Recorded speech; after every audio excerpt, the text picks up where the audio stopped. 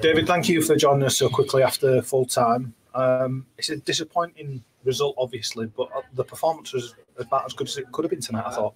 Yeah, hundred um, percent. We're all gutted in there to lose the game in the last ten minutes um, after a brilliant save um, by Chappers, and then to concede again in the set piece. Um, yeah, we're, we're gutted to, to to lose the game like that.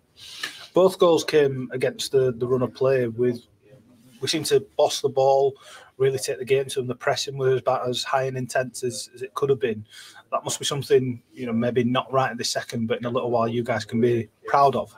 Yeah, I feel like um, it's just little times of lack of concentration that's letting us down at times. Um, like you said, against run of play.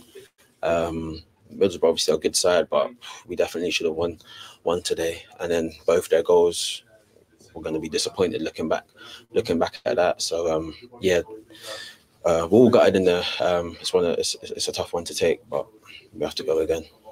It's hard, I suppose, for us watching it to see the effort you guys put in to be overly disappointed because the, the level of performance, the the commitment, the positivity, especially in the final third, seems to be getting towards the levels that we want it to be. Is that something that you guys are, are recognising in yourselves that you're building and, and improving?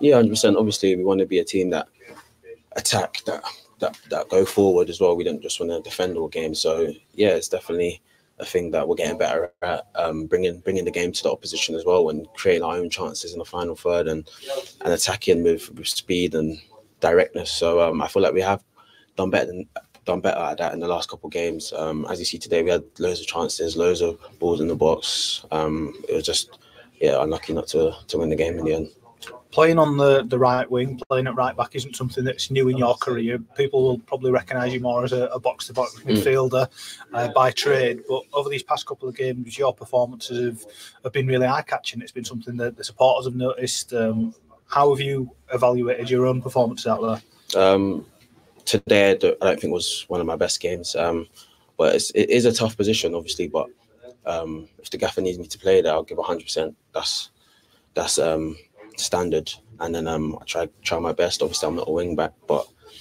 I'm happy to help the team wherever. Um, today was a bit a bit difficult. Uh, the fullback was very good defensively, so um, it's another game I'll look at and take take positives from it, and hopefully I can improve my game. and And I'm happy to be versatile and play in different positions. In the end, of, at the end of the day, so um, yeah, we'll, we'll just look forward now being honest, I think you've been a little bit hard on yourself there, but obviously you're your own toughest critic.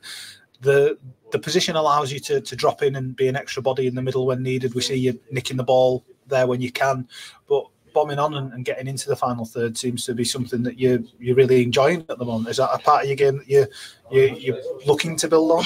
Yeah, obviously, naturally, naturally out of position, I'm always looking forward to try and win the ball. So I'm always on the front foot. So playing in that position, I guess um, you do get at times to be able to go in the middle and, and try and nick it, try and nick it higher up. Um, but yeah, it's all about bringing energy and bombing forward. And obviously, you you got to do two jobs. You got to basically be a winger and and a fullback at the at the, at the same time. So it's difficult. But um, yeah, I, I like to try and bring my strengths and, and, and see what I can do.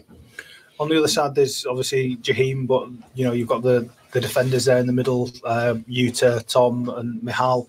Does that make it slightly easier on you knowing that there's a, a settled unit either side to, for you to slot in, play with, and sort of learn from and grow with? Yeah, hundred percent. I feel like the, the, defenders we have are proper solid. Uh, we don't really see a better bunch of centre backs in the league. Really, um, we uh, we we do rely on them a lot because obviously we're man for man that time, so they, they got to win their individual battles, and I feel like majority of the time they do. Um, today, obviously, the set piece, the set piece goal that made Middlesbrough win the win the game is is it's, it's, it's a bad one because obviously we've conceded another set piece against Norwich, so it's something we need to look at and and just make sure our concentration lasts the whole game in every in every scenario, whether it's a set piece, whether it's a one on one, whatever it is, we've got to stay switched on and can't give teams easy easy ways out.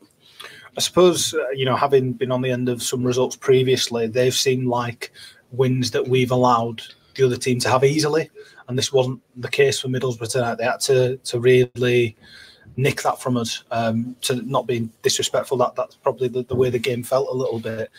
is that a sign of progression for us that, that time, teams are having to, to work harder against us and, and earn, you know, at any point they get from us a little bit more?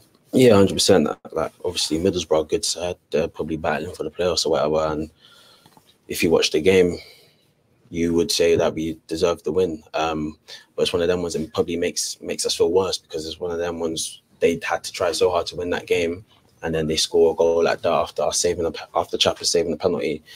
Um, it does make it a harder pill to swallow, but this it is what it is, and um, we got to look back at it. Now it's time to recover and look on to, uh, to the next game. I think one of the, the easiest barometers for how to judge a performance is how the supporters react at the end of the game. Um, obviously, if, if, you know the level of performance isn't there, they're not shy in letting you know. But also, even when the result hasn't gone our way tonight, the lads were clapped off the field. Um, the response on social media has been positive. I think that the effort was recognised. The the way we want to play, the, a little bit more front foot today has been you know recognised and appreciated.